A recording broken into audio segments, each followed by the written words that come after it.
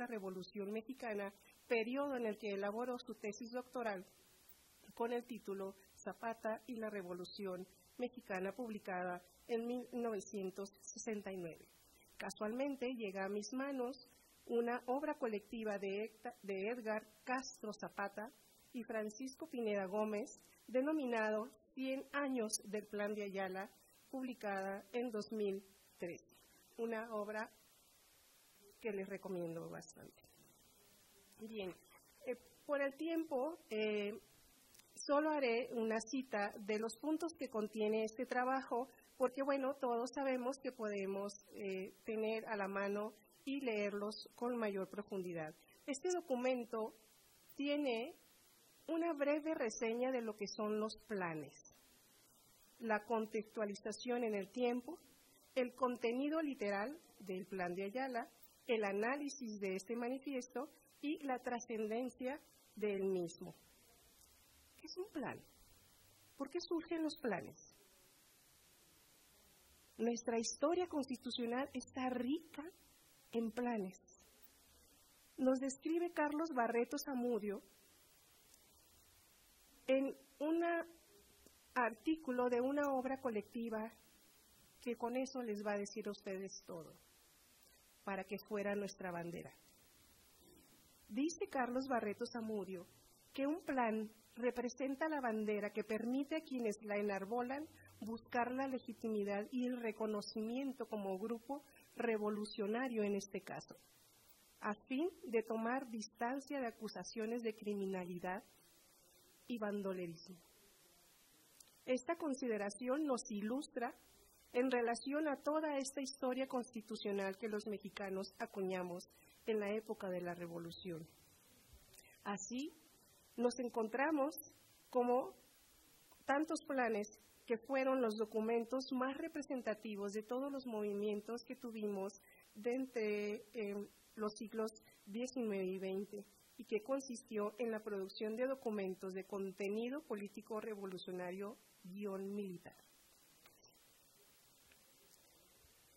Algunos de los ejemplos de estos planes son los firmados previos y posteriores al estallamiento de la revolución, como el Plan de San Luis, en 1910, el Plan de Texcoco en agosto de 1911, el Plan de Tacubaya en octubre de 1911, el Plan de Ayala del que hoy hablamos, el Plan de Guadalupe en 1913, el Plan de Aguaprieta en 1920, sumándole los previos a los planes eh, de la revolución, perdón, de la independencia bueno, solo mencionaremos estos porque es en los que, donde nos ubicaremos en nuestra línea del tiempo. ¿Qué sucedía en ese momento? ¿Qué sucedió entre eh, la firma del plan de San Luis y la firma de un nuevo plan? ¿Por qué surge? Les platico el contexto. Mario Ruiz Massieu, en una obra, eh, nos platica que la situación del país en etapa inmediatamente anterior a la revolución presentaba un panorama lamentable, sobre todo en el campo. Como muestra de esos problemas, bastaba señalar que el 96% de las cabezas de familias rurales no tenían tierra, mientras que solamente el 1% de la población controlaba el 97% del territorio mexicano y 834 hacendados poseían la mitad de la tierra, por lo que la hacienda mexicana estaba convertido en un enorme latifundio cultivado solo en la mínima parte, con una agricultura paupérrima cuyos medios de explotación antiguos hacían que se obligara al peón a trabajar en exceso, con la notoria miseria de los campesinos y el humillante trato que éstos recibían y que resultaba impostergable cambiar el estado de las cosas. Luis Massieu en el libro de Derecho Agrario. Por otra parte, recuerden ustedes, en la mañana yo escuchaba a un magistrado hablar sobre el plan de San Luis y hablaba precisamente que para justificar eh, la sucesión eh, Madero eh, escribió un libro que graciosamente le hizo llegar a Porfirio Díaz donde hablaba precisamente de la sucesión presidencial. Y él hablaba, fíjense, que los únicos aprovechados de todas las concesiones y beneficios era para los que rodeaban al gobierno y a el general Díaz. Este le otorgaba a sus allegados grandes porciones de terreno y los que raramente se ocupaban para la agricultura y que las concesiones y aprovechamientos de aguas y ríos eran desproporcionadas.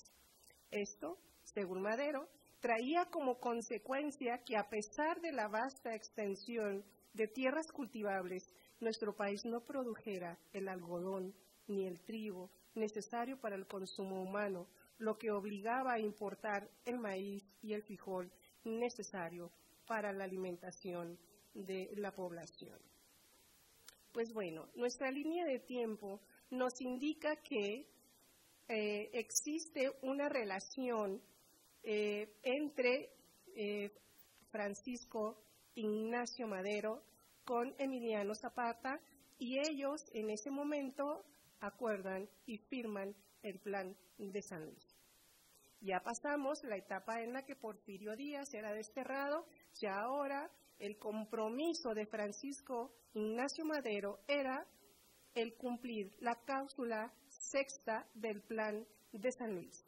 Y esta cláusula dice, abusando de la ley de terrenos baldíos, numerosos pequeños propietarios, en sus mayorías indígenas, han sido desproporcionados de sus terrenos por acuerdo de la Secretaría de Fomento o por fallos de los tribunales de la República, siendo de toda justicia restituir a sus antiguos poseedores los terrenos de los que les despojó de su modo, de un modo tan arbitrario, se declararán sujetas a revisión tales disposiciones y fallos y se exigirá a los que los adquirieron de un modo tan inmoral o a sus herederos que los restituyan a sus primitivos propietarios, a quienes pagarán también una indemnización por los perjuicios sufridos. Solo en caso de que estos terrenos hayan pasado a tercera persona antes de la promulgación de este plan, los antiguos propietarios recibirán una indemnización de aquellos en cuyo beneficio se verificó el despojo. Pues bueno, ya en la mañana comentaban que este plan fue firmado el 5 de octubre de 1910, entre otros, eh, por Francisco y Madero, como el político mexicano, presidente del Partido Nacional antireeleccionista desde San Antonio, Texas, recuerden. En este manifiesto se comprometía Madero a respetar las obligaciones gubernamentales contraídas antes de la revolución, a ser escrupuloso con el uso de los fondos públicos, así como también a restituir a los campesinos las tierras que le habían sido arrebatados por los hacendados por abuso de la ley de terrenos baldíos. Por ello, en su cláusula primera declara nulas las elecciones para presidente y vicepresidente de la República, ministros de la Suprema Corte, diputados y senadores, y se desconocía el gobierno de Porfirio Díaz. Esto era lo dicho en el plan de San Luis. Pues bueno, inmediatamente que Francisco Ignacio Madero toma posición, claro, Zapata va con su grupo de personas a pedirle que haga cumplir esa cláusula. Por supuesto que ante las evasivas de Francisco y Madero, Emiliano empezó a desconfiar. Así es de que al día siguiente en que Madero entra triunfante, le pidió que cumpliera con esas cláusulas y le dijo, mis soldados, o sea, los campesinos armados y los pueblos, me exigen le diga a usted, con todo respeto, que desean se proceda desde luego a la restitución de las tierras.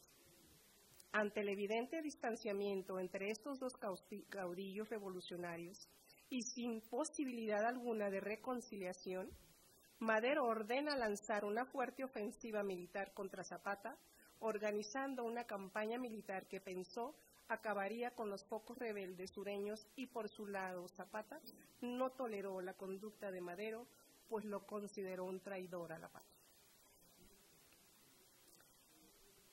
El historiador Bowman narra que esta etapa de la historia ya no existía ningún diálogo entre estos dos actores políticos. Madero, por su parte, exigía lealtad y obediencia sin condiciones, y el gobierno de este no le garantizaba de ninguna manera a Zapata a cumplir sus demandas. Al contrario, le daba de alguna manera la única garantía de salir seguro al exilio. En conclusión, el compromiso original había estado demasiado cargado de esperanzas y de sueños por parte de Zapata y quien veía la traición en todo momento de Francisco y Madero y Madero, según los historiadores, egoísta, en toda opinión no aceptaba ninguna idea que no fuese la suya. Con esta arbitrariedad, Madero terminó por romper con los ideales del zapatismo que definitivamente ya había demostrado ser la fuerza principal en nuestro país. Quiero narrarles rápidamente los puntos más importantes del Plan Libertador de los Hijos del Estado de Morelos afiliados al ejército insurgente que defiende el cumplimiento del Plan de San Luis, con las reformas que ha creído conveniente aumentar en beneficio de la patria. Y dice así, los que suscribimos, constituidos en Junta Revolucionaria, para sostener y llevar a cabo las promesas que hizo la revolución del 20 de noviembre de 1910, próximo pasado, declaramos solemnemente ante la faz del mundo civilizado que nos juzga y ante la nación a que pertenecemos y amamos los propósitos que hemos formulado para acabar con la tiranía que nos oprime y redimir a la patria de las dictaduras que nos imponen, los cuales quedan determinadas en el siguiente plan. En síntesis, los puntos más importantes o aportaciones de este plan es que se elevó a la categoría constitucional de los derechos mexicanos el reconocimiento de la pequeña propiedad, la disolución de los latifundios y la instalación o creación de tribunales especiales en materia agraria, todas ellas consagrados hoy en el artículo 27 constitucional, todos importantes, pero el surgimiento de los tribunales agrarios como el resultado de la lucha agraria y de las demandas de los campesinos trajo solución a los problemas del agro, refiriéndose específicamente al artículo 6 del Plan de Ayala, y podemos señalarlo como parte del bloque de planes y programas que impactaron en la vida constitucional. Todos estos días hemos escuchado a ponentes llenos de emoción. Yo me encontré una cita que la verdad cuando terminé de leerla, como dice la doctora, em, me puse un poco chinita y se las leo a la letra. Es una nota periodística que el historiador Womack cita en su obra, publicada en el Diario del Hogar el día 18 de diciembre de 1911, y dice, yo he sido el más fiel partidario del señor Madero le he dado pruebas infinitas de ello, pero ya en estos momentos he dejado de serlo. Madero me ha traicionado, así como a mi ejército, al pueblo de Morelos y a la nación entera. La mayor parte de los partidarios están encarcelados o perseguidos, y ya nadie tiene confianza en él por haber violado todas sus promesas. Es el hombre más veleidoso que he conocido. Díganle además de mi parte que él vaya para La Habana, porque de lo contrario ya puede ir contando los días que corre, pues de un mes en un mes estaré yo en México con veinte mil hombres y he de tener el gusto de llegar hasta Chapultepec y sacarlo de ahí para colgarlo de uno de los sabinos más altos del bosque. Muchas gracias.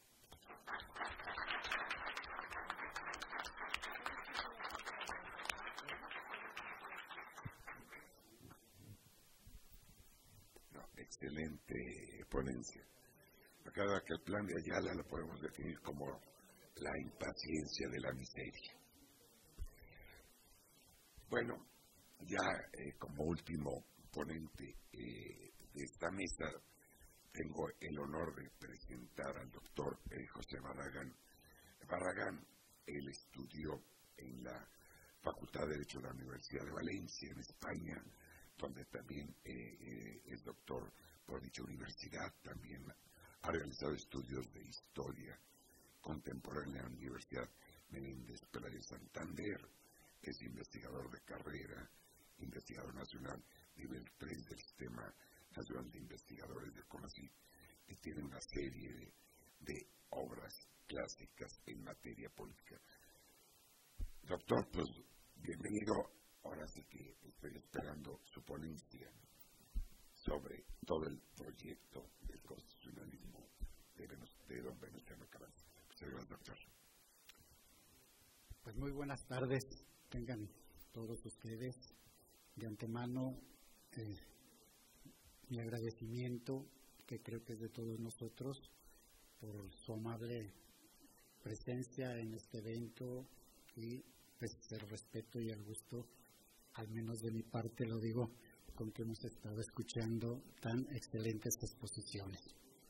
Yo las voy a tomar como el mejor marco de referencia de mi exposición, toda vez que, como se acaba de, decir, me toca hablar del proyecto de don Venustiano Carranza, proyecto de reformas a la Constitución de 1857 de don Venustiano Carranza. Voy a decir en primer lugar algunas palabras en términos generales alusivas al proyecto en general, para luego entrar, si el tiempo nos da, este, nos lo permite, en algún comentario ya muy, muy particular. Pero, pues insistiendo en algo que su servidor nunca pierde de vista. A mí me gusta mucho la historia, es hermosa, es interesantísima en sí misma, pero creo que si nosotros además como docentes, investigadores, tratamos de encontrar las enseñanzas que pueden sernos útiles para el momento presente, pues nos será mucho más interesante su estudio y también su enseñanza. En este sentido, mis comentarios al proyecto de Carranza van a tener un reflejo sobre el estado actual de nuestra Constitución, que espero que sea del interés de todos ustedes. Hablando en general del proyecto, creo que fue muy prudente de parte de Carranza el hablar de reformas, el presentar, el ofrecer a la consideración del Pleno un proyecto de reforma completo a cada uno de los artículos de la Constitución de 1857 y no introducir un texto nuevo que este, tal vez hubiera llevado más tiempo aprobarlo y por lo que vemos del debate que se da con respecto de algunos artículos como el de la enseñanza, eh, a lo mejor no hubieran encontrado, digamos, el consenso necesario para aprobar este proyecto. Pero eso no hubiera que no tiene mayor sentido, sino este, sí alabar este acierto de presentarlo así y terminar finalmente en un estupendo texto definitivo que se promulga el día y la fecha que todos conocemos. El proyecto tiene 132 artículos, cuatro menos que el original de 1857, tiene nueve artículos transitorios. De ahí entonces que este cierto general luego se traduzca muy en particular en muchos de los puntos, por no decir de casi todos los artículos que se incorporan al proyecto y que fueron discutidos y aceptados prácticamente muchísimos de ellos en sus términos por la Asamblea Constituyente. El tema más importante, porque la, Constitución de 1800, 1857 lo considera la base de las instituciones públicas, es en este momento, como lo fue en el 57, como lo tiene que seguir siendo en este momento y en el futuro, el tema de los derechos humanos. es la base de las instituciones fundamentales de nuestro país, o esas instituciones están en función, trabajan a favor de los derechos humanos de las personas, de, todos nosotros, de todos los habitantes de este hermoso país. En relación con esto, y esta es una conclusión, la adelanto, a mí me gustaría, hablo desde la academia, que no cuesta mucho trabajo, sustituir el texto vigente por el de Carranza, el proyecto de Carranza, reformado por lo menos en dos de sus artículos. No en el de la enseñanza, que creo que fue un error, la enmienda que le hace la, la Comisión de Reformas es un gran error y lo estamos padeciendo ahora mismo, pero sí el que tiene el que tiene que ver con el artículo que ahí ya se mencionó, 27, eh, y el que tiene que ver con la clase, la legislación, un proyecto de legislación obrera que se le denomina así en los debates y desde luego lo que tiene que ver con los derechos humanos. Vamos a empezar por unos comentarios sobre los derechos humanos. Ahora se llaman así en virtud de la reforma del 10 de junio de, del 2011. en el proyecto, en la cuestión del 57 se llaman derechos del hombre y se habla de garantías individuales. Carranza, leyendo bien este texto, lo recoge como garantías individuales. Y así ha quedado hasta esta reforma mencionada del 2011. La expresión garantías individuales es excelente. Algunos especialistas, compañeros de nosotros, la han criticado diciendo que era muy confusa. No es cierto. En el trabajo yo trato de demostrar a través del debate que es un concepto muy conocido por los asambleístas del 16, del 56, de 1824 y de cada una de las constituciones mexicanas locales del primer periodo 24-27, porque la usan así. Y creo que el libro del maestro Burgoa, Las garantías individuales, que se enseñó en todo México, pues nos enseñó a nosotros de que era un término muy preciso ¿eh? y muy hermoso. En cambio, derechos humanos, lo voy a decir con todo respeto, y aquí se dijo ya, es un término polivalente, que tiene muchos significados. El término de personas, que pareciera en su contexto no tener ningún problema para decir qué persona es el ser humano, también es polivalente. El término de, de dignidad también es polivalente.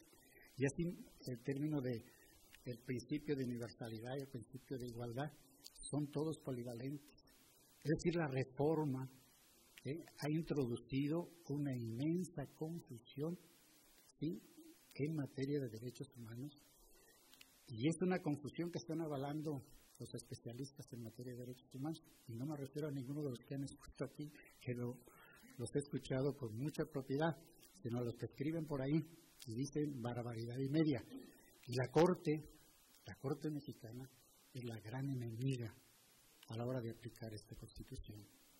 Desde 1921, que, admite el amparo en materia agraria, se acabó la reforma agraria. Y ahorita mismo es la Corte la gran enemiga de los derechos humanos porque los interpreta mal.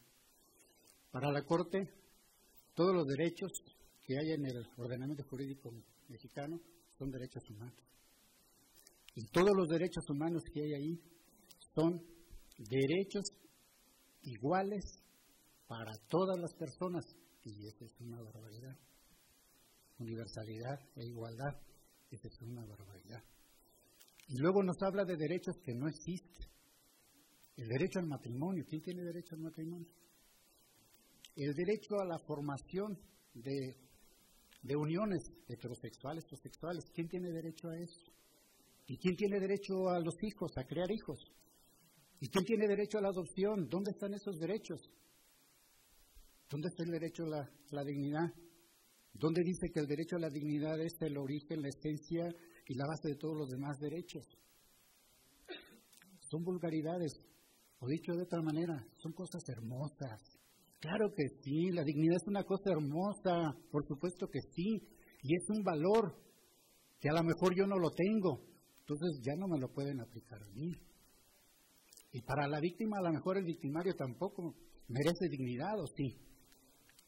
Es un valor subjetivo, muy hermoso, pero hasta ahí. De que no hay derecho a casarse y a formar uniones, ni a tener hijos. Es una decisión del ser humano. Y decisión libre, libre que enteramente. Cada ser humano ¿eh? tiene órganos sexuales, masculinos y femeninos, y los usa con el gusto y con la complacencia y con la libertad que solamente cada ser humano tiene. No necesita de ninguna ley, no necesita de la corte que nos diga para qué sirve el acoplamiento entre personas heterosexuales. No, no, los no lo necesitamos. Y no hay ningún derecho. Hay una decisión. Basta que nos respetemos nosotros esa decisión y no ocupamos ni siquiera de ley escrita.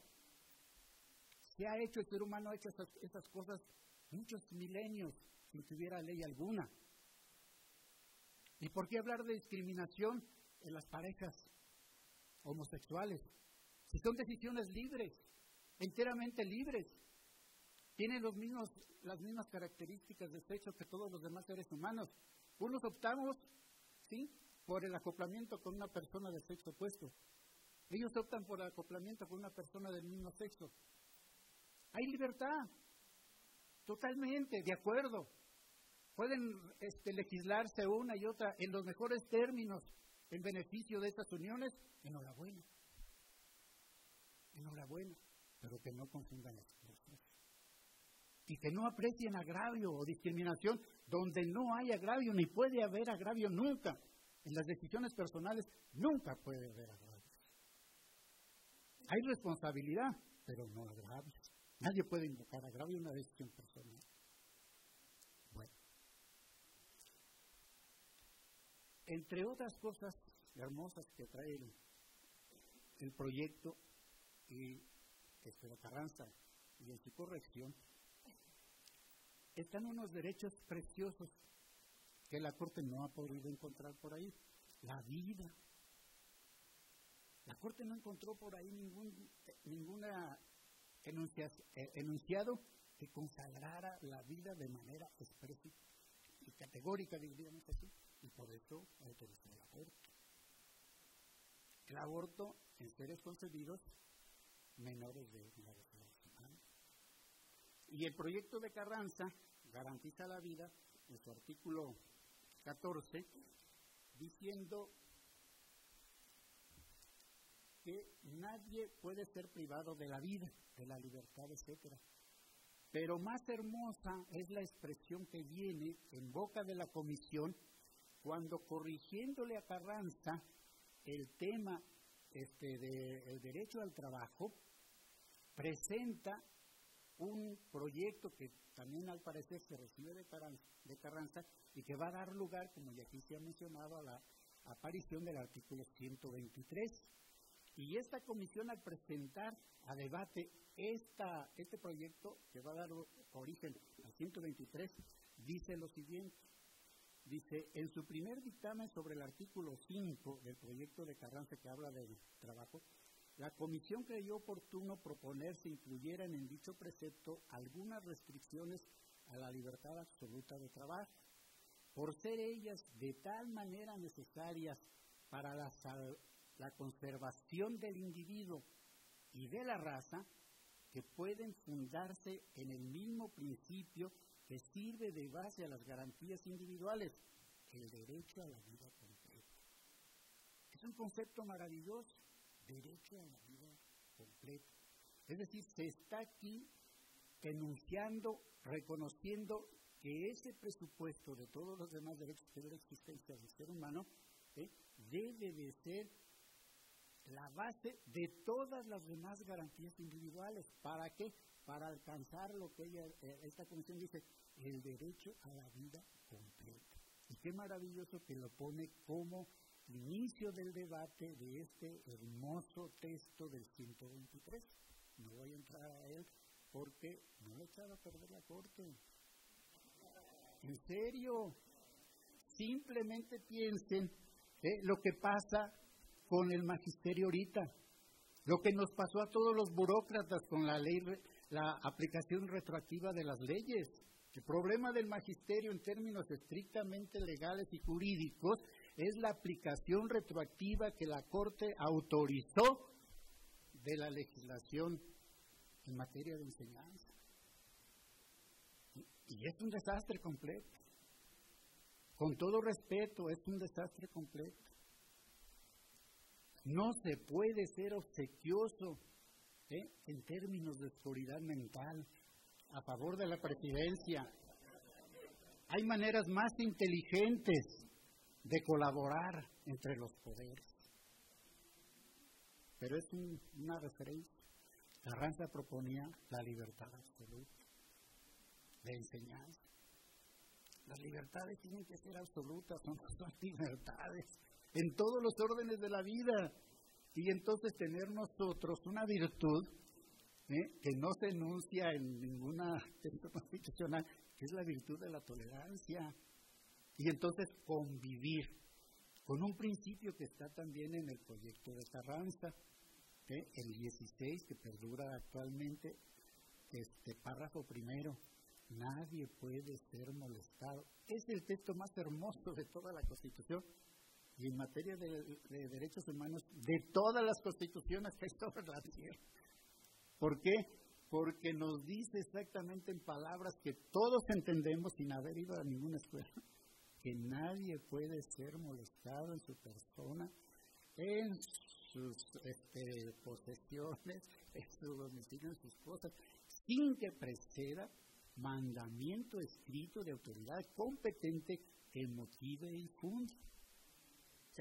Ese es el principio de inocencia.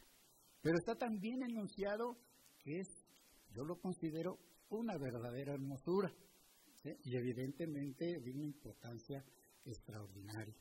De manera entonces que nuestras libertades en términos absolutos no pueden tener otra limitación más de que esta.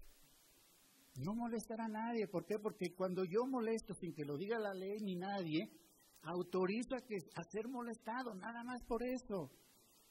Y no debo molestar a nadie porque la esencia del ser humano que no toma en cuenta la corte para nada, yo creo que no la conoce, ¿sí? Es la de ser un animal, ¿sí? Gregario. Y que compartimos esa naturaleza con una serie de especies de animales con los cuales compartimos género y muchas cosas.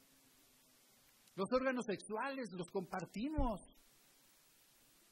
De manera que en eso somos iguales, exactamente. Esos predicables son absolutos para todos los seres humanos. Y son iguales porque se enuncian de la misma e igual forma. ¿De acuerdo? Pero nada más. También somos racionales, es la otra gran naturaleza, seres sociables racionales. ¿Qué significa? Que gozamos de unas prerrogativas, entre ellas la, la libertad, es la más maravillosa de todas. La libertad, supuesta pues la vida siempre. Y esa libertad entonces se debe de respetar de manera absoluta, pero sin molestar a nadie. Este sentido se encuentra perfectamente en estos preceptos de los derechos humanos de Carranza, siguiendo muy de cerca la Constitución de 1857 y repito, me gustaría cambiarlos por los que tenemos. Por ejemplo, los que tenemos, ¿qué tenemos en el artículo 16, octavo párrafo? El arraigo. El arraigo es un conjunto de crímenes, por favor. Por favor. Y si está el primer párrafo, ¿cómo confundimos? ¿Cómo metemos el arraigo ahí? Y hemos metido muchas más cosas ahí. El poder legislativo que tan amablemente nos acoge en esta en este gran palacio, es el otro gran responsable de todas las deformaciones que ha tenido la Constitución. son tantas que el constituyente ni Carranza reconocerían ya el texto como propio, dirían, yo no hice esa cosa. En serio, el Congreso de la Unión a través de esta facultad que es limitativa y que es indebido ejercer de poder revisor no constituyente. Si ustedes le dan el nombre al Poder Revisor de constituyente, se acabó la soberanía del pueblo. Totalmente se acabó porque el constituyente va a hacer lo que quiera. Estas facultades que se da a través de este, de este ejercicio son indebidas totalmente porque ese poder reformador es constituido. No puede violar el 124. Las facultades que no le estén expresamente concedidas a los poderes, los funcionarios federales, están reservadas a los estados. Por supuesto que sí. Y de esas facultades pues son las originales, no son todas las demás que se ha venido dando el propio Congreso ¿eh? y ha venido trastocando la forma de gobierno. El proyecto de Carranza tiene esa virtud, que al seguir una excelente constitución como la de 1854, tiene un concepto hermoso de soberanía, tiene un concepto muy adecuado de lo que es la forma de gobierno y nos dice por el 40 que es voluntad del pueblo mexicano constituirse una república representativa, eh, laica, popular, federal. Y lo federal es una forma para distribuir el poder y trae una hermosa, equitativa, justa y racional distribución del poder. Y lo que tenemos ahorita es una deformación total de esa distribución y de ese ejercicio. Piensen en el INE nada más. ¿eh? Eh, en el INE que ya anuló, se anuló todo el régimen electoral de lo más sagrado y soberano que tenían los estados, que era el imperio electoral, por supuesto que sí. O piensen en la Corte, pues que ha anunciado la invalidación de todo el régimen, de todas las, leyes que se opongan al nuevo régimen de matrimonio. Y ese régimen del matrimonio se encuentra en el artículo 146 del Código Civil del Distrito Federal, que la Corte lo toma para matar lo dispuesto en la Constitución y para matar lo dispuesto en todos los códigos civiles y para eso declarar la invalidez. No se puede hacer esas cosas. Me gustaría hablar de la propiedad originaria. Un concepto bellísimo, un concepto maravilloso que permite hacer al Ejecutivo sobre esa propiedad original lo que quiera. Y se pensó así para que prosperara la reforma agraria. Y se pensó así para que se distribuyera equitativamente la riqueza pública, que en ese momento histórico estaba basado en la propiedad inmobiliaria. Hoy en día a lo mejor está en las bolsas, que en otros lugares está esa riqueza. Pero en ese momento en la Y sin embargo, pues fracasó la reforma, fracasó todo lo demás, y han venido estas reformas que en mi opinión no era necesario emitir. ¿Por qué? Si comprendemos bien la propiedad originaria, como debe de entenderse como un derecho de propiedad, ¿a favor de quién? De la nación. La nación somos todos, es algo maravilloso, no es una propiedad estatizada, no es una propiedad de tipo comunista, ni mucho menos, somos nosotros. Pero es el Ejecutivo el que está facultado para en algunos casos, administrar y explotar directamente estos recursos, como los de hidrocarburos. Bueno, este, voy a concluir diciéndoles pues que me ha agradado mucho trabajar sobre este, sobre este tema, resaltando los aciertos que incorpora Carranza a su proyecto, los aciertos que incorpora la propia Comisión incorpora de Reformas al proyecto de Carranza para darnos finalmente el texto original de la Constitución de 1917, que es una concepción revolucionaria, estupenda, muy, avanzada y en muchos aspectos realmente extraordinaria. Nada más, muchas gracias.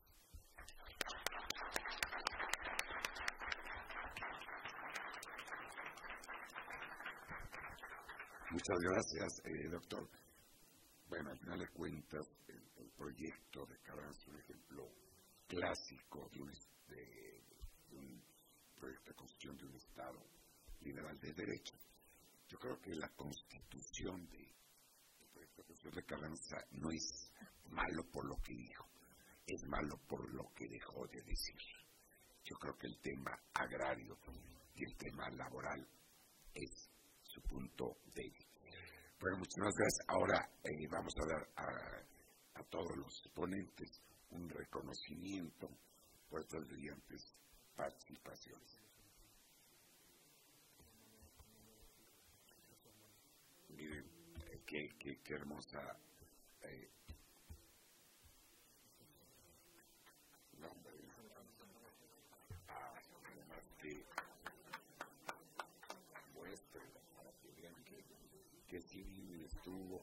que se lo dieron.